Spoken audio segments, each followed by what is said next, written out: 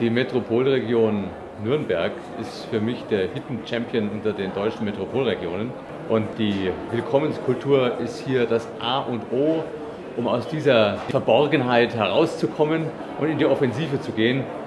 Willkommenskultur heißt für mich erstmal ein warmer Empfang und Offenheit. Ich glaube, das ist etwas, äh, was wir alle haben und was wir einfach nur leben müssen und damit auch ein gutes Umfeld bereiten für all diejenigen, die aus dem Ausland zu uns kommen und gerne hier bei uns arbeiten würden und auch gute Chancen haben werden in dieser aufstrebenden Region, in der immer mehr junge Menschen zuziehen zu arbeiten.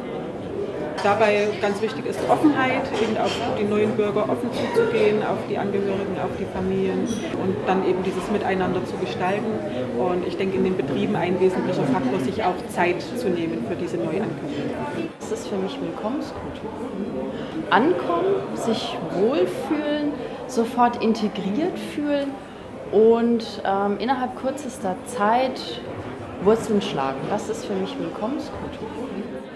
Das heißt, sich eng mit der Metropolregion jetzt schon zu verbünden und ein Leuchtturm letztendlich zu sein und zu sagen, es gibt starke Unternehmen, die nach Diversity-Gesichtspunkten unterwegs sind, die nachhaltig wirtschaften, die zukunftssicher sind und die in gewissem Rahmen auch das Gesicht der Metropolregion prägen können.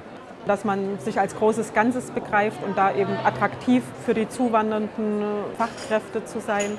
Und da gehört sicher eine Vielzahl an Aktivitäten, an Maßnahmen dazu. Das ist eine Aufgabe für alle Bewohner, Institutionen, Mitarbeiter der gesamten Metropolregion.